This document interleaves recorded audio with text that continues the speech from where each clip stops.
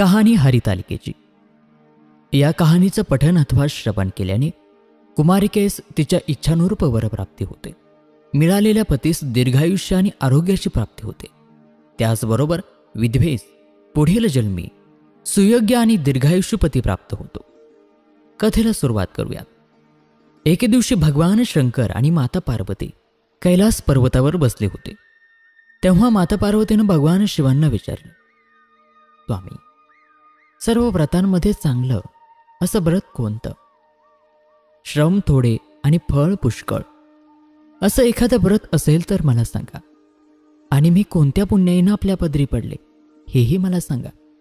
तेव्हा भगवान शिव म्हणाले जसा नक्षत्रात चंद्र श्रेष्ठ ग्रहांमध्ये सूर्य श्रेष्ठ देवतांमध्ये विष्णू श्रेष्ठ नद्यांमध्ये गंगा श्रेष्ठ त्याप्रमाणे हरितालिका व्रत हे सर्व व्रतांमध्ये श्रेष्ठच आहे. हेच व्रत तू पूर्वजन्मी हिमालय पर्वतावर केलंस आणि त्याच व्रताच्या पुण्याईनं तू मला प्राप्त झालीस. हे व्रत भाद्रपद महिन्यातील पहिल्या तृतीयेला करावं लागतं. ते तू पूर्वी केलंस ते मी तुला आता सांगतो. तू लहानपणी मी तुला प्राप्त व्हावं म्हणून मोठं तप केलंस. चौसष्ट वर्ष झाडाची पिकली पानं खाऊन होतीस. थंडी पाऊस ऊन ही तीनही दुःख तू सहन केलीस. हे तुझे कष्ट पाहून तुझ्या पित्याला फार कष्ट झालं. तुझ्या पित्याला फार दुःख झालं आणि अशी कन्या कोणाला द्यावी अशी त्यांना चिंता पडली. इतक्यात नारद मुनी तेथे आले. हिमालयानं त्यांची पूजा केली आणि त्यांना येण्याचं कारण विचारलं. तेव्हा नारद मुनी म्हणाले आपली कन्या उपवर झाली आहे. तेव्हा आपण ती आता विष्णूंना द्यावी. तेच तिच्यासाठी योग्य पती आहेत आणि त्यांनीच मला आपल्याकडे ही मागणी करण्यासाठी पाठविलं आहे. आणि म्हणूनच मी इथे आलो आहे. हिमालयाला मोठा आनंद झाला. त्यांनी ही गोष्ट कबूल केली. त्यानंतर नारद तेथून विष्णूंकडे आले.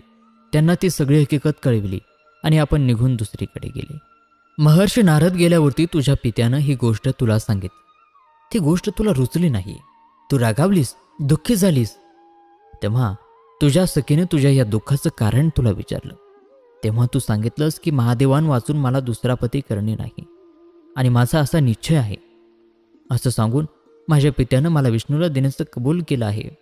आता याला उपाय काय करावा असं तू विचारलंस? मग तुला तुझ्या सखीने एका घोर अरण्यामध्ये नेलं. तिथं गेल्यावरती एक नदी दृष्टीला पडली. जवळच एक गुहा होती. त्या गुहेमध्ये जाऊन तू उपवास केलास.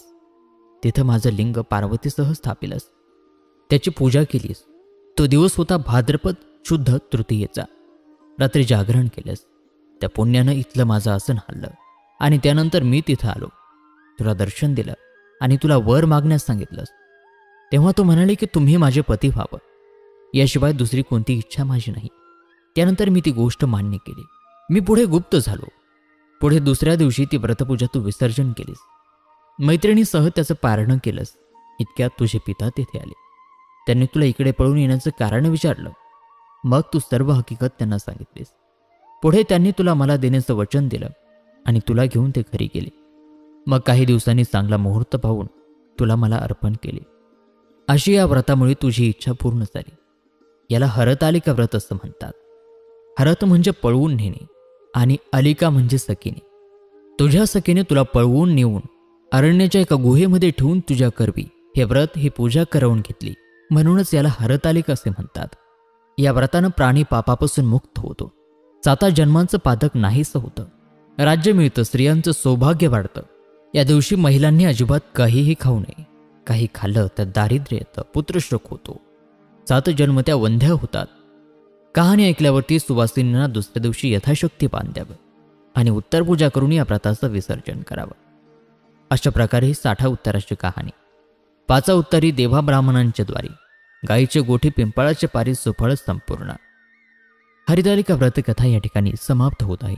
अशाच नवनवीन कथांसाठी मेड फॉर मराठी सबस्क्राईब करायला विसरू नका. धन्यवाद.